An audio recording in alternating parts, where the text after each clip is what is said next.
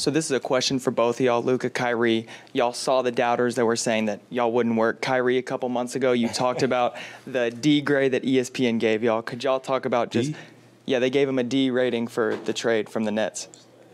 So could could y'all? hey man. Yeah, I wanted to ask y'all how- starting to All Star game to being How does shit it feel player. to prove the doubters wrong?